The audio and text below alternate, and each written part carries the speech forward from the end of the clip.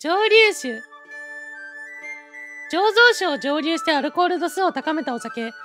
母はアルコール度数が20度くらいになると死んでしまうため、それ以上の度数にするには蒸留が必要です。ヨーロッパでは13世紀から15世紀にかけて蒸留酒の製造が始まりましたが、最初期は飲用ではなく消毒用でした。